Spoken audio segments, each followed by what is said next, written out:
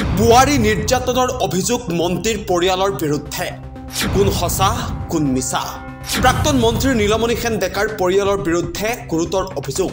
পুত্ৰ ৰাজশ্ৰী সেন ডেকাৰ বিৰুদ্ধে অভিযোগ ডাঙৰ বোৱাৰীৰ প্ৰাক্তন মন্ত্ৰী নীলমণি সেন ডেকাৰ পৰিয়ালৰ বিৰুদ্ধে অভিযোগ উত্থাপন কৰিলে নীলমণি সেন ডেকাৰ ডাঙৰ বোৱাৰীয়েকে।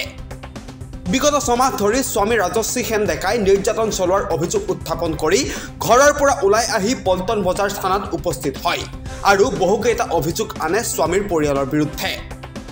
পিছৰ পৰা মোক বহুত শাৰীৰিক মানে অত্যাচাৰ কৰে আৰু মাক দেউতাকে সেইবোৰ মানে একো নকৰে।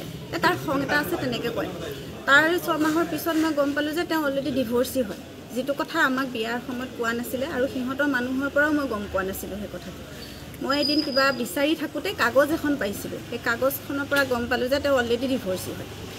তাৰপিছতে থাকিলোঁ তাৰপিছত মানে মাহে মাহে মাৰ পিত আৰু মাৰ পিতটো ইমান বেছি হৈ গ'ল আৰু মানে যি টি বস্তু মানে নাচায় গাৰুৱেদি হেঁচি ধৰে ডিঙি চেপা মাৰি ধৰে তোক মাৰি পেলাম একেবাৰে মাৰি পেলাম তোৰ ঘৰৰ কি আছে একো নাই মানে পইচা লাগে আৰু ইনডাইৰেক্টলি মাৰপিট কৰে মানে ডিঙিত হেঁচি ধৰে চেপা মাৰি ধৰে মাৰিম বুলি এটেম্প টু মাৰ্ডাৰ মই মানে ভবা নাছিলোঁ যিহেতুকে সিহঁতে সিমানখিনি কোৱা নাছিলে কৈছে তুমি ঘৰলৈ যোৱা দুদিন আমাৰো অলপ হেৰি হওক কাৰণ দেউতাকৰ বেমাৰ হৈছে গতিকে ট্ৰিটমেণ্টৰ কাৰণে যাব।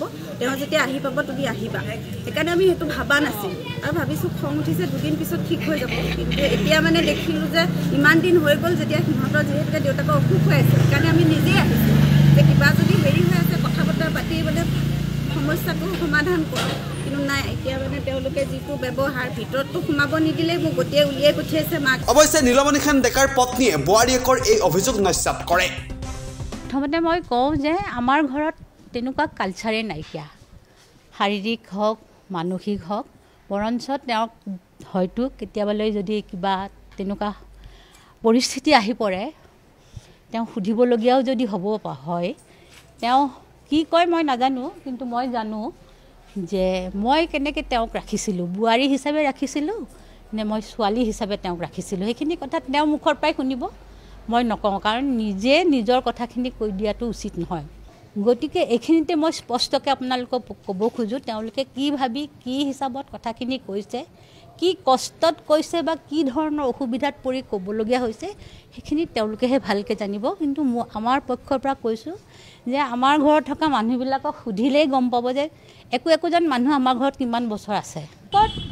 এটা মেৰেজ এটা হৈছিলে কিন্তু সেই অৱগত কৰাৰ প্ৰশ্নই নাই যিহেতু সামাজিক মেৰেজত পৰিণতই নহ'ল। দুদিনৰ পিছতে তেওঁক এন আৰ চিৰ কামত ভৰ্তি কৰাৰ কাৰণে তেওঁ বিয়াখন হেৰি কৰিলে যে মই এতিয়া বিয়া কৰাবলৈ প্ৰস্তুত নহয় গতিকে কইনা পক্ষই সেইটো নামানিলে। সেইটোৱে কথা। আৰু তাত বেলেগ নাই। তাত সামাজিক বিয়া হৈছিলে নাই আপোনালোকেতো গুৱাহাটীৰ নীলমণি চেণ্টেকা সকলোৱে জানে সুধি ল'ব। যৌতুকৰটো প্ৰশ্ন আৰু মাৰপিটৰ প্ৰশ্ন এইকাৰণে নাই যে ছোৱালীজনী কি ক'ম? এতিয়া লোকৰ ঘৰৰ ছোৱালীৰ কথা বেয়াকৈ ক'বলৈ মই বেয়া পাওঁ। সেইকাৰণে বাৰে বাৰে নুসুধিব এইটো কথা। কাৰণ মানে এনেকুৱা বেয়া ধৰণৰ মানে মোৰ চকুৰ সন্মুখতে মানে তেওঁ পিন্ধি থকা কাপোৰ মই ধৰি ৰাখিবৰ কাৰণে ধৰোঁতে এনেকুৱা বল প্ৰয়োগ কৰিছে যে কাপোৰেই ফাটি যাবলগীয়া হৈছে। তেওঁ যাব লাগে। মুঠতে তেওঁ ঘৰলৈ যাম যাম কৈ আছে। মই ক'লোঁ ৰ'বা দেউতা দেখুৱাবলৈ যাব। গতিকে তুমি দুদিন পিছত গ'লেওতো একো নহয়। মান্তি হ'ল। তাৰপিছত কি কাৰণত কি হ'ল ক'ব নোৱাৰোঁ। আৰু মানে এই মই বাৰে বাৰে কৈ আছোঁ যে মই ছোৱালী মানুহৰ বিৰুদ্ধে মই নিজে এগৰাকী মহিলা। গতিকে মই ইমান বেছি তললৈ যাব নোখোজোঁ মোৰ অভিযোগ যিমানেই দিয়ে দিয়ক মোৰ আপত্তি নাইকিয়া। কিন্তু মই মুখেদি ইমান বেয়া ধৰণৰ কথা ক'ব নোৱাৰোঁ। বোৱাৰীয়েকৰ অভিযোগ অনুসৰি ৰাজৰ্ষী সেন ডেকাই পূৰ্বতে বিবাহ পাশত আবদ্ধ হৈছিল। কিন্তু সেই কথা জনা নাছিল পত্নীয়ে। আৰু দীৰ্ঘদিন ধৰি নিৰ্যাতন চলাই আহিছে পত্নীক। উল্লেখ্য যে প্ৰাক্তন মন্ত্ৰী নীলমণি সেন ডেকা বৰ্তমান চিকিৎসাধীন হৈ আছে। এতিয়া কোন সঁচা কোন মিছা সেয়া এতিয়ালৈকে স্পষ্ট হোৱা নাই। সঁচাকৈ নীলমণি সেন ডেকাৰ ডাঙৰ বোৱাৰী নিৰ্যাতনৰ বলি হৈছিল নেকি? সেয়া এক ডাঙৰ প্ৰশ্ন সকলোৰে মাজত।